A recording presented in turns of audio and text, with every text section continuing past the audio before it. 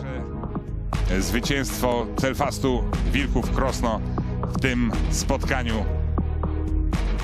Jeszcze próbowali walczyć ze Szczepaniem. Reprezentant Szwecji będzie w stanie ograć kogoś z pary Holta bądź Trofimow.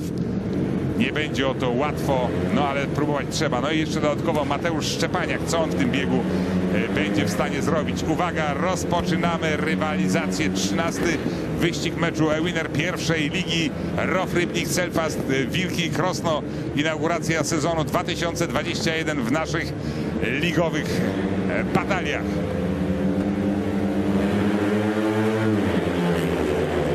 Bardzo dobrze wystrzelił Mateusz Szczepaniak, ale jednak ściął do krawężnika Wiktor Trofimow i teraz już Rune Holta mija Petera Liunga i jeszcze ma jedno zadanie do wykonania.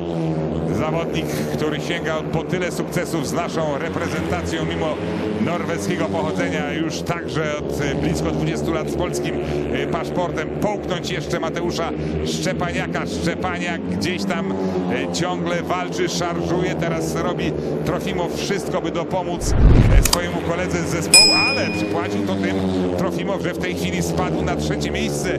Mateusz Szczepaniak przesunął się na drugą pozycję. To jest na razie e, kolejny e, z tych niewielu bardzo emocjonujących wyścigów, w którym przynajmniej jeden z żużlowców Wilków Krosna stara się dobiec drużynie rybnickiej. Zamyka stawkę, natomiast jadący w kasku żółtym Peter Liung, proszę bardzo, Mateusz Szczepaniak przypomina, że walczył tutaj 3 lata na torze w Rybniku, zna jego geometrię, no i teraz upadkiem kończy się to e, wszystko. Rune Holty i w ten oto sposób doświadczamy takiej oto sytuacji, że pierwszy raz tego niedzielnego, świątecznego, wielkanocnego popołudnia żużlowcy z Krosna wygrywają bieg w tym meczu.